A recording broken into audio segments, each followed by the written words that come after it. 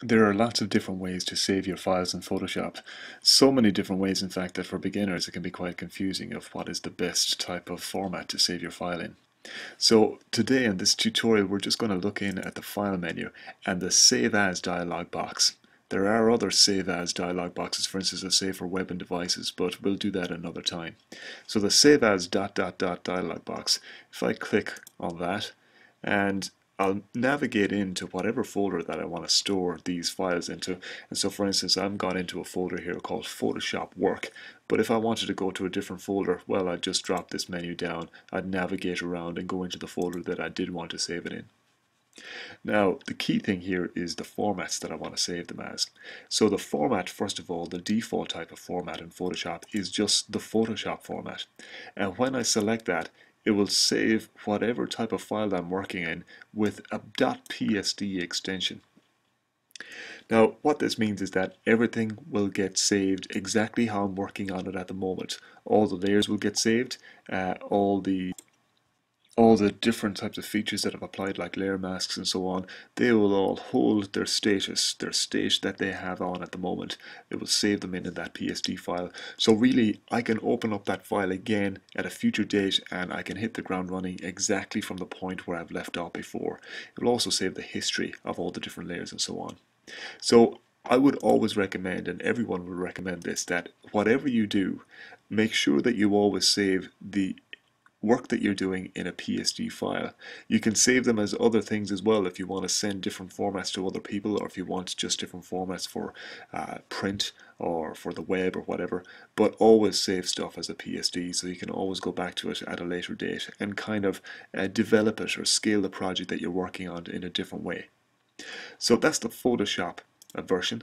If I save with Photoshop uh, I should probably put a particular name on it as well to make it relevant. Uh, I could probably put the date on it as well. So, um, and that would be easy to find. So I'll save it there. As soon as I save that, this is always normal. Uh, maximize compatibility is to do with the way that different layers are saved in PSD files, so it can uh, uh, look be looked at or viewed in different versions of Photoshop as well. So we can usually click OK to that and that's it. That will save it in there and I can see the title bar will change with my new file name as well. I could close down Photoshop or bring that PSD file to any other type of uh, pro, uh, system where Photoshop is installed. I'll open it up and everything will be intact. The next type of way that I, I'll look at saving as uh, if we want to save it as a different format as we can see there's lots of different formats here but I'm just going to go to the next obvious one which is JPEG so JPEG is a kind of a format that's very useful on the web. Uh, it's got a kind of a low file size and it's especially good for any kind of image where there's lots of gradiated colors. So anything that comes from a photographic background, something that came from a camera where I can see natural type of colors going on, fading from one color into another. The type of file sizes we get uh, for images like that are often optimized in the JPEG format. But it's small, and the reason that it's small is with Photoshop is that it throws away all our layers and it flattens it down into one layer and I don't have any of the features that I've had before or I've added to it. So when I reopen up a JPEG format, uh, formatted image in Photoshop, all I get is one single layer with the pixels in that layer and I have to start uh, manipulating it from there. So let me save that I'm saving it in the same folder and I can save it as a JPEG file in alongside my PSD file. So I've already got my PSD version of it, but I can also save a version of it as a flattened JPEG. So I'm going to click OK there or save. Uh, I get this JPEG options uh, option up and I can see the file size here at the moment 1.7 meg. That's because the quality of the uh, compression algorithm that this version of JPEG is using is quite high. It's set to the maximum. But I can reduce that down to high and let's see the type of file size I get from that 540k so if I go to medium I get 331k so it really depends on what kind of quality that I want and you can try out the different variations of that and see if you can spot the difference between the quality. Generally if it's been used for the web uh, quality of 5 6 or 7 is generally okay. The reason that we're getting such high file sizes here is that the image that I have is actually quite big uh, if it was for a web and it was a normal type of web image, generally you wouldn't have anything over 50k or even 30k would be quite large for a web-based image. but I can click OK on that and that saves it as a flattened image. Now just because I've saved it as a JPEG it doesn't mean that I'm actually working on anything different here. I'm still working on a PSD file but I've just saved a version of it or a copy of it to a JPEG uh, file format if I wanted to send it off to somebody by email or put it on the web. Now lastly, if we go into one other type of file format, if I go File and again into the Save As dialog box, and I'll drop this menu down and I'm going to go right down here to where it says Photoshop PDF which is just the, the PDF version that I can save from in Photoshop. So I'm going to click on that I've got an option here whether I want to actually include the layers in the Photoshop PDF because PDF has the option of whether we want to flatten the image or whether we want to keep the layers intact. It really depends on what you want this uh, PDF for. If you're going to be sending it off to the printer and the printer is actually going to be doing some work on it, then you might want to keep the layers intact. If you're sure that it's all finished, ready to go, ready to be printed, or you just want to send it over to, to the web to somebody else, uh, then there's no need to actually add in the layers. Uh, deselecting the layers option uh, will have the added advantage that uh, uh, it will be a lower file size. So once I click off the layers, it's sure then that I want to save this as a copy alongside my PSD file. So I can click Save on that. And I get some options once I click this OK. Uh, I get a dialog box, lots of different options here in the way that I can save my PDF. So I've got high quality print, uh, press quality, smallest file size and so on. High quality print will generally result in a quite large file size. Uh, if I go for smallest file size, uh, I can then move in and kind of fine tune some of the settings I want to do with the uh, compression and so on. But generally, these kind of uh, presets are, are pretty good. I can just pick one of them and that will be fine.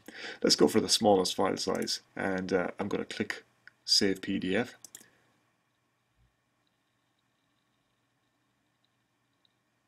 It just takes a minute for that to save. And just to show you the difference in the file sizes of each of those three different formats that I've saved them in, I'm going to open up my Finder and I'm going to go to that folder, my Photoshop work, work folder where I saved all of those three images. And I can see these bottom three here. These are the three images that I've saved. So the first one was my PSD file saved at 1243 and I can see the file size of that is 20.4 megabytes which is very very large. It's a very very large sized file anyway uh, just in terms of the dimension the width and the height. And so therefore if you include all the different layers that I've added in there as well we have a very very big file. So I wouldn't send a 20.4 megabyte file over an email system to anybody. It would just be too big. But it's good because it keeps all my layers intact so it's good for working on my own system and I would always keep that copy somewhere on my own system where I've got lots of spare space to actually store that in. The next version that I saved it at was the JPEG. So I can see here the JPEG saved at 2 minutes later, 1245, and I can see the file size of that. I put the quality, I think, at a level of 5, and it gives me 397 kilobytes. That's a JPEG image, but that's completely flattened. I don't have any layers intact there. Uh, and if I was to open that up and start working on it, really I would just have a background layer and I would have to take everything from that layer and build it up into whatever I wanted. And then the last version was the PDF. So PDF, uh, I saved it with a small file size and I can see that that's 520 kilobytes. PDF is good that it's it's very scalable uh, if I zoom in on different parts of a PDF file, it won't lose any of its clarity. I just clicked on that PDF file, I double clicked on it, it opened it up in a PDF viewer. And just to show you what I mean by not seeing or losing any of its clarity when I zoom in, meaning that it's a very scalable file, I can get in here to the edge of that W or any of my other letters. And I can see I've zoomed in quite a lot there to 6400%, but I still see a definite kind of line at the side of uh, the edge of that character and a very smooth break between that character and the background that's behind it. If I go back to my Finder and I move into my JPEG file, and if I open that, whatever the generic uh, image preview tool is in the Mac, uh, let's zoom in here a good amount Let's go up to compare like with like. I'll go up to the actual text. I can see here, this is uh, the E of my text. But I can see if I zoom in quite a lot, I can see some degradation there of the quality.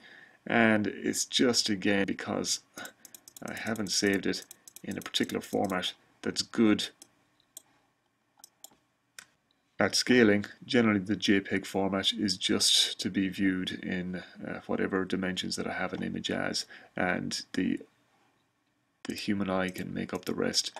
But again, we just see that if I zoom in very, very closely, uh, the quality isn't that super good as a PDF quality would be.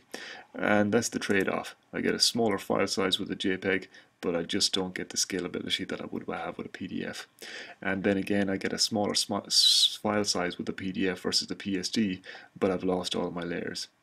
So key rule is always save your work as a PSD and then you can fire off other copies as well in other formats but you always have the baseline of your PSD file saved somewhere so you can bring back up all the layers and save all your work and hit the ground exactly at the point of where you left off the last time you were working with that file and that's file types uh, of JPEG, PDF and PSD in Photoshop.